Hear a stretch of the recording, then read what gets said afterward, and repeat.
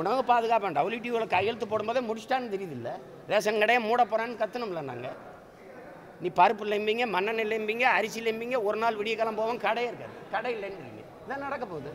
அப்புறம் என்னென்னா நீங்கள் மானியம் தர்றோம். நேராக வங்கிக்கு வாங்கம்பீங்க நாங்கள் கீழே கட்டிக்கிற லுங்கி மேலே போட்டுக்கிற அங்கேயும் இல்லாத பயல்களை வெங்கி பயல்களை பிடிச்சி வங்கிக்கு வா வங்கிக்கு வான்னு இழுத்தடிச்சு கிடக்குறாங்க.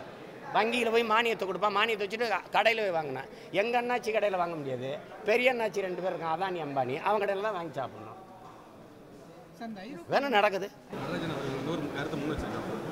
நீங்கள்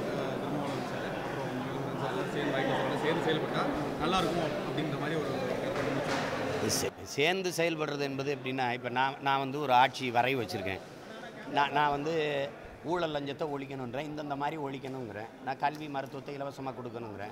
ஆடு மாடு வளர்த்தல் பட்டுப்பூச்சி வளர்த்தல் கோழி வளர்த்தல் மீன் வளர்த்தல் வேளாண்மை செய்தெல்லாம் அரசு பணியாக மாற்றணுங்கிறேன். இது ஒரு தத்துவம்.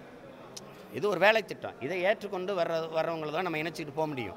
அப்போ தேர்தல் நேரத்தில் சிலர் என்ன நினைப்பாங்கன்னா வெல்ற கூட்- கூட்டணி எதுவோ அதோட போயிடுவோன்னு நினைப்பாங்க.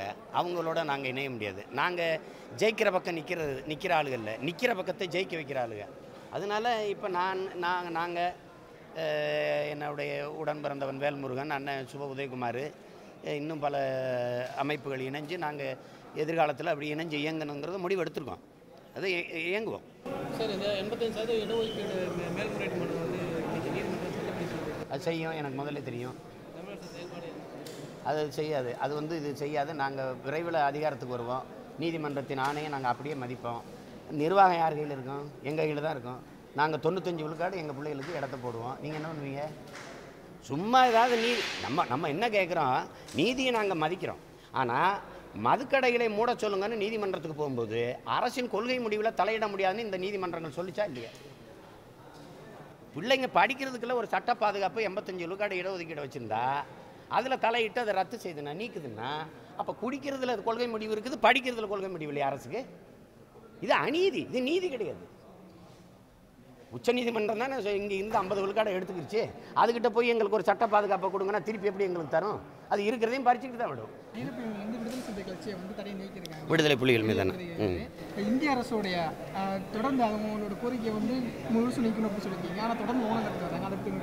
அது இந்தி இந்திய இப்போ இந்திய அரசே இந்திய அரசு தான் பல நாடுகளுக்கு தடையை நீக்கக்கூடாதுன்னே சொல்லுது. எங்களுடைய எல்லா நகர்வுகளையும் அரசியல் விடுதலைக்கான நகர்வையும் தடை போடுறதை இந்திய அரசு தான் செய்யுது. எந்த நாட்டில் போனாலும் இந்தியா என்ன சொல்லுதுன்னு கேட்குறான். வாட் அபவுட் இந்தியா சேஸுங்கிறான் ஏன்னா இந்தியா ஒரு தெற்காசிய பிராந்தியத்தில் மிகப்பெரிய துணைக்கண்டம். உலக நாடுகளின் மக்கள் தொகையில் ரெண்டு பெரிய நாடு சீனாவும் இந்தியாவும் தான். இந்த நாடுகளோடு பல்வேறு நாடுகள் தொழில் வர்த்தகம் இராணுவம் எல்லாத்துலேயும் ஒப்பந்தம் போட்டு வச்சிருக்கு. அதனால் தமிழர் என்கிற இனமாக இந்தியா என்கிற நாட்டின் நட்பான் வரும்போது இந்தியா என்கிற நாட்டின் நட்பு. அப்படி தான் அனைத்து நாடுகள் பார்க்குது. அப்போ அந்த அடிப்படையில் எங்களுக்கு ஐரோப்பிய ஒன்றியம் தடையை நீக்கினது எவ்வளோ மகிழ்ச்சியும் நம்பிக்கையும் வருதோ அதுபோல் என் நாடு என் நாடு வந்து எங்கள் மீது தே தமிழ் தேசினத்தின் மீது திணிக்கப்பட்ட ஒரு அவமானம் தான் இந்த தடை அதை நீக்கணும் அதை நீக்கினா தான் எங்களுடைய என்ன சொல்கிறது எங்களுடைய இந்த இலக்கை நோக்கிய பயணம் வந்து விரையும் நன்றி கர்நாடக அரசு வந்து இப்போ புதுசாக இன்னொரு அணைகளை கட்டுறதுக்காக அனைத்து கட்ட கட்சி கூட்டத்தை கூட்டுவதற்காக ஒரு ஆலோசனை நடத்திட்டு இருக்கு. உச்சநீதிமன்ற தீர்ப்பையும் மீறி செயல்பட்டு வருது. இது சம்பந்தமாக இப்போ எடப்பாடி அரசு மோடியோட இதற்கு எதுவும் வாய்ப்பு இருக்கிறது இல்லை. இல்லை இப்போ கர்நாடக அரசு உச்சநீதிமன்ற தீர்ப்பை மீறுது. கேரள அரசு உச்சநீதிமன்ற தீர்ப்பை மீறுது. ஆனால் தமிழ்நாடு அரசு மட்டும் அப்படியே கடைப்பிடிக்கும். நீதிமன்றம் சொல்லிருச்சு அப்படின்ட்டு. ஒரு சொட்டு தண்ணீர் கர்நா உச்சநீதிமன்றம் சொன்ன பிறகும் ஒரு சொட்டு தண்ணீர் தமிழர்களுக்கு கொடுக்க முடியாதுன்னு கர்நாடக அரசு சொல்லுது. அதுக்கு நீதிமன்ற நடவடிக்கை என்ன?